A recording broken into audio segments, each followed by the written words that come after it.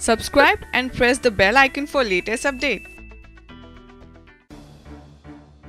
Saharanpur police और बदमाशों के बीच मुठभेड़ कलसिया रोड के पास हुई मुठभेड़ बैगनार और कार में सवार थे चार बदमाश। पुलिस और स्वैट टीम के साथ आमने सामने की मुठभेड़ में दो बदमाशों के पैर में गोली लग गई है। आपको बता दें कि एक सिपाही की जैकेट में गोली लगने से सिपाही बाल बाल बचा। चार हज़ार इनामी बदमाश को गिरफ़्तार कर लिया गया है।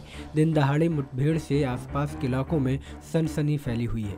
कर लेना चाहूँगा। ये आज दोपहर में तीन बजे से पाँच बजे के बीच में जो हमारी रूटीन चेकिंग होती पूरे ज़िले में वो लगी हुई थी।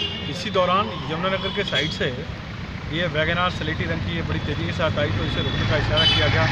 चेकाना पुलिस के द्वारा गंदेवड़ रोड पे ये गाड़ी उनके ऊपर फायर करके बदमाश जो है भागे।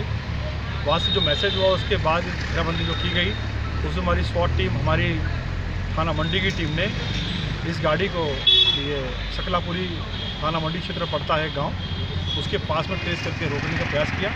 तो क्रॉस फायरिंग हुई जिसमें हमारे एक पुलिस के सिपाही को की जैकेट के ऊपर गोली लगी है और दो बदमाशों को गोली लगी है, माजिद और बुरा।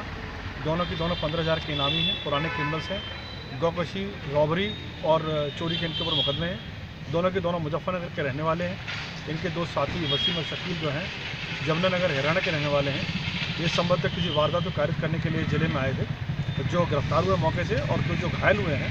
आपको बता दें कि इन बदमाशों के ऊपर कई दिनों से पुलिस की नज़र बनी हुई थी। फ़िलहाल इन बदमाशों को पकड़ने में सहारन पुलिस ने कामयाबी हासिल की है।